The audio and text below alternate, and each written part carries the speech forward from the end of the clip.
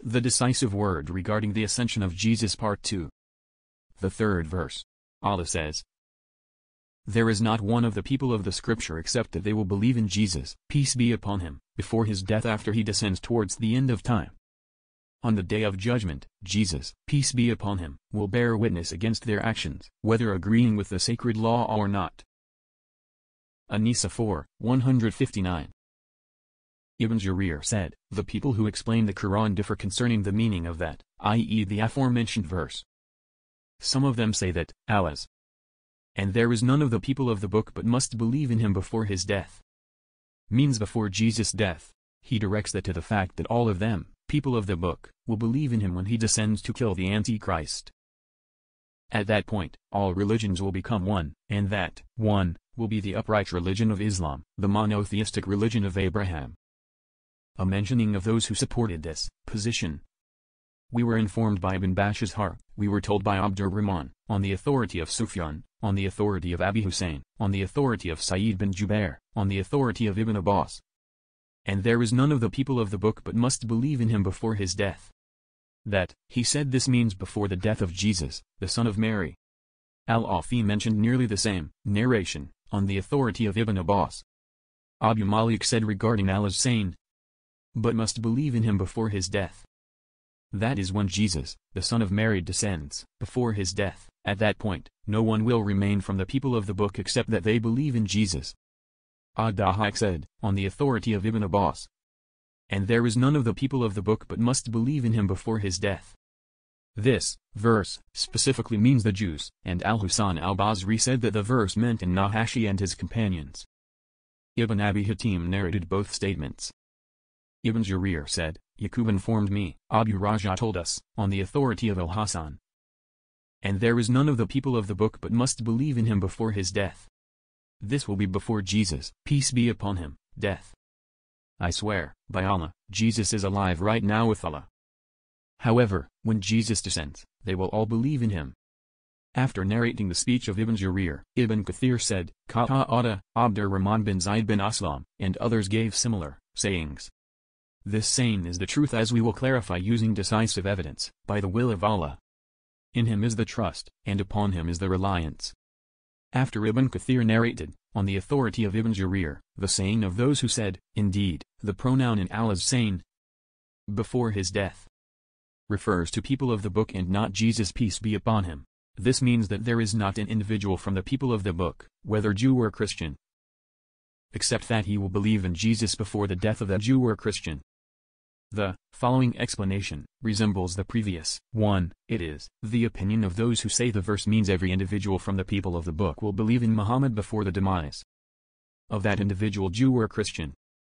Ibn Kathir said, afterwards, Ibn Jarir said, the most authentic of these explanations is the first one.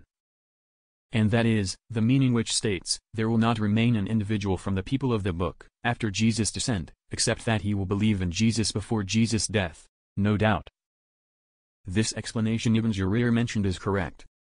It is correct, because the objective of the context, in these verses, is to falsify the claims, of the Jews, about Jesus' murder and crucifixion and, also rebut, ignorant Christians who accepted the Jews' claim.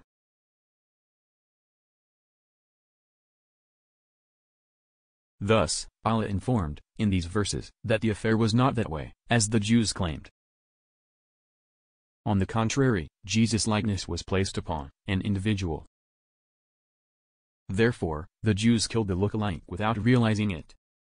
Allah then raised Jesus to himself, and Jesus is still alive. And Jesus will descend before Judgment Day. An abundantly narrated hadith was used to prove all of this which we will mention soon, Allah willing. Jesus will kill the Antichrist, break the cross, kill the swine, and leave off the jizya meaning Jesus will not accept it from the different religions. Rather, Jesus will only accept Islam. It is either that, or the sword. This noble verse informs that all the people of the book will believe in Jesus at that time, and all of them will see him as being truthful.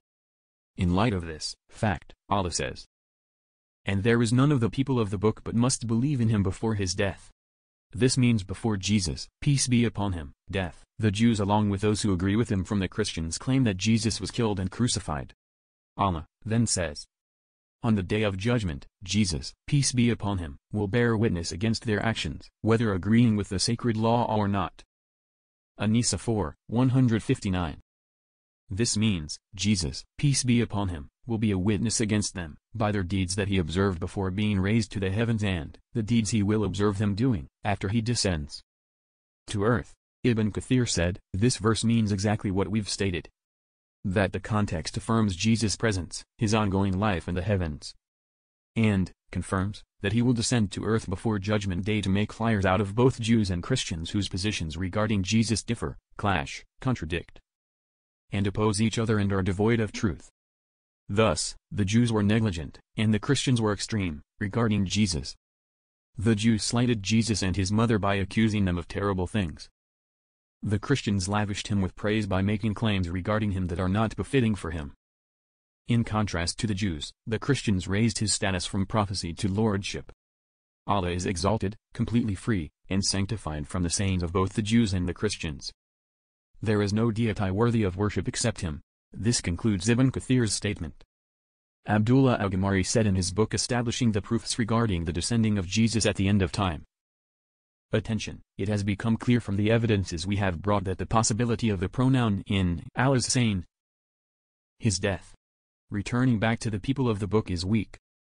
Also, the possibility of the pronoun in Allah's saying in him meaning someone other than Jesus, peace be upon him, is erroneous.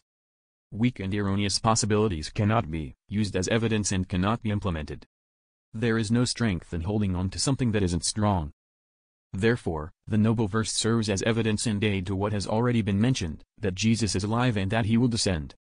A phrase is sometimes a proof in itself. Other times, a phrase is a proof when supportive material is added to it. Moreover, all likelihoods, or scenarios, extracted from a phrase cannot make something a proof, contrary to the misgivings of many of those who do not consult the science of fundamental principles. First verse. Allah says in Surah Ali Imran giving glad tidings to Maryam, regarding Jesus. This child will miraculously speak to people when he is a small baby, as well as when he grows up and becomes a man. He will tell them what is best for them in their religious and worldly affairs. He will also be one of those who are righteous in their words and actions. Ali Imran 3, Ayat 46. Allah says in Surah Al-Ma'idah, speaking to Jesus. Remember when Allah addressed Jesus, peace be upon him, and told him to remember Allah's favor to him when he created him without a father.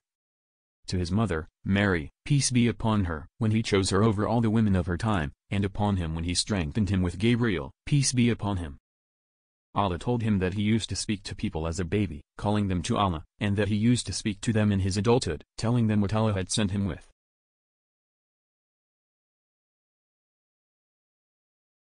QS. Al-Ma'idah 5, Ayat 110. Ibn Jarir narrated the following, during the explanation of this verse. Ibn Jarir said, I was informed by Yunus, we were informed by Ibn Wahab, he said, I heard him, i.e. Ibn Zayd, say regarding the Allahs, 2, saying, He will speak to the people in the cradle and in maturity. Indeed Jesus peace be upon him, spoke to them from the cradle, and he will speak to them when he kills the Antichrist at that time he will be a man of mature age. Ibn Jarir also said, I was informed by Yunus, we were informed by Ibn Wahab, who said Ibn Zayd said regarding Allah saying, I will take you and raise you to myself. Ali Imran, 3, 55. Ibn Zayd said, I will take you, means, I, will, remove you. Ibn Zayd then said, I will take you and raise you, are synonymous. Jesus, peace be upon him, will not die until he kills the Antichrist. Thereafter, Jesus will die. Ibn Zayd then read Allah's saying, He will speak to the people in the cradle and in maturity. Ibn Zayd said, Allah raised Jesus, peace be upon him, before he reached complete maturity.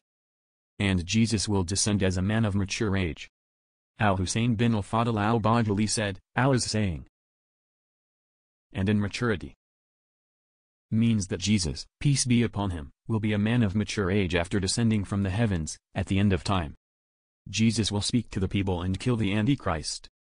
Hussein bin al-Fadl said, in this verse is a proof that Jesus, peace be upon him, will descend to earth. The lab said, regarding Allah saying, Jesus will descend to earth as a mature man. The argument we have cited from Ibn Jarir is the widely accepted position of those who explain the Quran. All of them, commentators of the Quran, explain the verse with Ibn Jarir's argument, and use it as a proof of Jesus, peace be upon him, decent. This is the indisputable truth for the saying of Allah. And in maturity. The Arabic word, which is conjoined with a connected point of time, for example childhood, before it and they are both entering into the same ruling and its estimated meaning is. Jesus, peace be upon him, spoke to people from the cradle as a child and will also speak to them as a mature man. If Jesus' speech immediately after birth, during infancy, was a sign, then it is a must that, that which is conjoined with it, his speech in maturity is also a sign. Otherwise, there would not be a need to use this speech as evidence because adult speech is a common and customary matter. Thus, informing that a man will use adult speech, by itself, is not special, especially informing of this, as a way of giving glad tidings. Therefore, it is a must that what is meant by this news is that his speech is in the period of maturity. The majority of both hadith specialists and historians believe that Jesus, peace be upon him, was raised at the age of 33 and will remain on earth for 40 years after his descent just as this, fact, comes in an authentic hadith. It is also said that Jesus' stay on earth is going to be 24 years. Ibn Jarir reported on the authority of Kabbalah with an authentic chain. It was also said that the term of Jesus' stay on earth will be seven years, which will complete his age of 40. The first choice is correct. The second verse. There is not one of the people of the scripture except that they will believe in Jesus, peace be upon him, before his death after he descends towards the end of time. On the day of judgment, Jesus, peace be upon him, will bear witness against their actions, whether agreeing with the sacred law or not. An-Nisa 4, 159 We have stated citing Ibn Jarir that the most correct explanation of this verse refers to Jesus peace be upon him as being the pronoun in Allah's saying, before his death. Likewise, we have stated that, when Jesus, peace be upon him, descends, no living individual from the people of the book will remain during that time except that he will believe in Jesus and give him credence. That is because Jesus will discontinue the jizya, and he will only accept Islam otherwise, the sword. So, whoever refuses Islam, Jesus will hasten towards them with the sword. Based on the premise that the pronoun refers to Jesus, this is the correct position, then his descent is a self-evident matter that rejects any doubt. This matter is so, because the people of the book are not going to ascend to the heavens in order to believe in Jesus. However, he is going to descend to earth, just as indisputably authentic narrations explicitly state, which we will mention soon, Allah willing. The third verse. Allah says, Indeed, Jesus is a sign from the major signs of the hour, when he shall descend towards the end of time. So do not doubt the hour's occurrence and follow me in whatever I have brought to you from Allah. This thing I have brought is the straight path in which there is no deviance. Az-Zukhruf 43, Ayat 61. Abdullah al-Ghamari said in his book, establishing the proofs for the descent of Jesus, peace be upon him, at the end of time, at the discussion of this verse. This means that Jesus is a sign of the last hour. The last hour will be known by Jesus' descent. So, have no doubt about it. The Prophet explained the verse with the same meaning. Ibn Hibban said in his Sahih, in mentioning the proofs that the descent of Jesus, peace be upon him, the son of Mary, is from the signs of the last hour. We were told by Muhammad bin Husayn bin Khalil, we were informed by Hassam bin Amr, we were informed by Al-Walid bin Muslim. We were informed by Shayban bin Abdurrahman on the authority of Asim on the authority of Abi Razin, on the authority of Abi Yahya, the freed slave of Ibn Afra. On the authority of Ibn Abbas, the authority of the Prophet regarding Allah's saying, and, Jesus, shall be a sign, for the coming of, the hour, of judgment. He said, The descending of Jesus, peace be upon him, the Son of Mary, will occur before the day of judgment. This chain is authentic. The narrators are all trustworthy. Asim is from the well-known scholars of recitation. Narrations similar to this hadith of the Prophet also come on the authority of Ibn Abbas, Abi Malik, Al-Hasan, Mujahid, Qata'ada, As-Sadi, Ad-Dahak, Ibn Zayd, and others. The narrations of these men are transmitted in the tafsir of Ibn Jarir with different chains. All of the narrations candidly state that the verse means that Jesus, peace be upon him, descending will be before the hour. This is the only explanation to be applied. Any other explanation for the verse is impermissible. There are proofs for this argument. fiercely, as previously stated, this explanation is authentically reported on the Prophet. Secondly, surely, the context of the verse is regarding Jesus, peace be upon him. Read Allah's saying, When the idolaters thought that the Jesus the Christians worshipped was included in the statement of Allah the Exalted, Indeed, you, disbelievers, and what you worship other than Allah are the firewood of hell. You will be coming to enter it, and Allah had prohibited worshipping him just like he had prohibited the worship of idols. Your people, O Messenger, began persisting in argument, saying, We are pleased that our idols are of the same status as Jesus. So Allah revealed, refuting them, Indeed, those for whom the best reward has proceeded from me, they are from it far removed. And they say, Are our deities better or is Jesus better? Ibn al-Zubayr and others did not draw up this comparison in love of hope in reaching the truth, rather in love of argumentation. They are a nation quarrelsome in nature. Jesus, the son of Mary is nothing but a servant from the servants of Allah whom he favored with messengership and made him an example for the Israelites. They can use him as proof of the power of Allah because he created him without a father, just like he created Adam without parents. O children of Adam, if I wish to destroy you and make the angels succeed you on earth in your place, they would worship me and not ascribe partners with me at all. Indeed, Jesus is a sign from the major signs of the hour, when he shall descend towards the end of time.